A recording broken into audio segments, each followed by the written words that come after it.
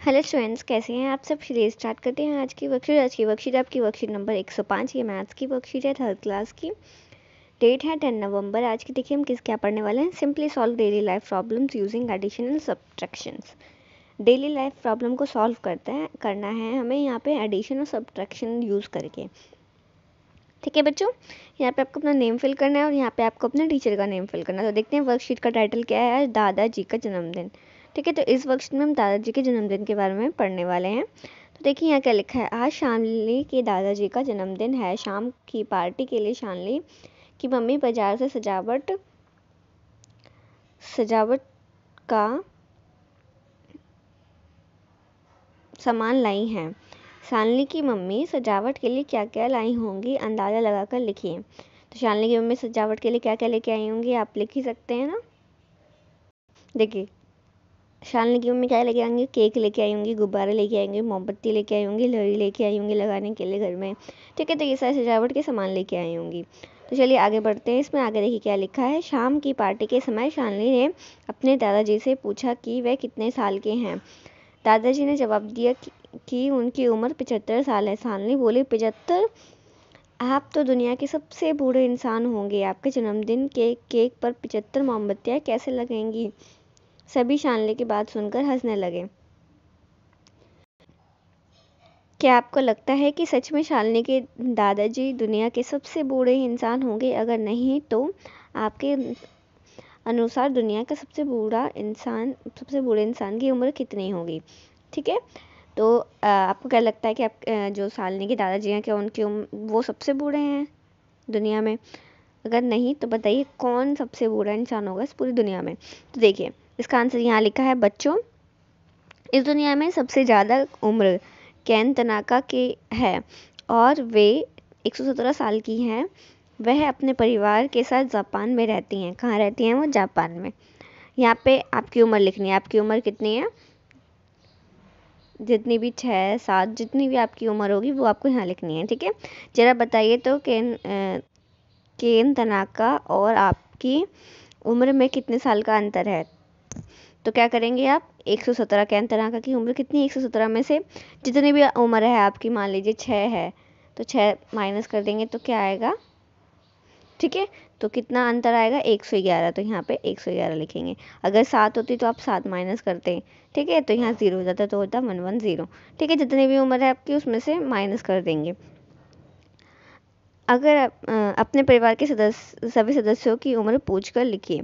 देखिए, यहाँ पे मम्मी की उम्र लिखनी है, ठीक है? डेट ऑफ़ बर्थ लिखनी है यहाँ पे मम्मी की। जैसे मेरी जो मम्मी है, उनका है टेन वन और एटी टू ठीक है? तो ऐसे ही आपको मान लीजिए उनकी उम्र पैंतालीस है तो ऐसी आपको लिखनी है सबकी। यहाँ पे डेट ऑफ़ बर्थ लिखनी है, बड़े भाई बहन की और यहाँ पे उनकी उम्र लिखनी है, ठीक है बच्चों? एंड नेक्स्ट है आपका, आपके घर में किस सदस्य की उम्र सबसे ज़्यादा है? तो मेरे घर में मेरे पापा की उम्र सबसे ज़्यादा है। ठीक है? तो आपके घर में जिसकी भी होगी, दादा की, दादाजी की होगी तो आप उनकी लिख सकते हैं। आपके पापा और मम्मी की उम्र में कितना अंतर है? तो मेरे पापा की जो उम्र है फिफ्टी है। मान लीजिए, और मम्मी की फोर्टी फाइव है तो क्या करेंगे? फिफ्टी में से फोर्टी फाइव माइनस कर देंगे तो क्या आएगा? फाइव ठीक है? तो जो इसका आंसर हो जाएगा, वो क्या हो जाएगा? फाइव आपको क्या लगता है कि ये, आपके परिवार के सभी सदस्य की उम्र को जोड़ दें तो क्या वह जोड़ किन तनाका की उम्र से ज़्यादा हो जाएगी? पता लगाइए। ठीक है? तो अगर आपके परिवार के सभी सदस्यों की उम्र जोड़ दें तो आपके परिवार में मान लीजिए, मेरे फैमिली में तो ये देखिए, इन सबको जोड़ने के बाद कितना आएगा?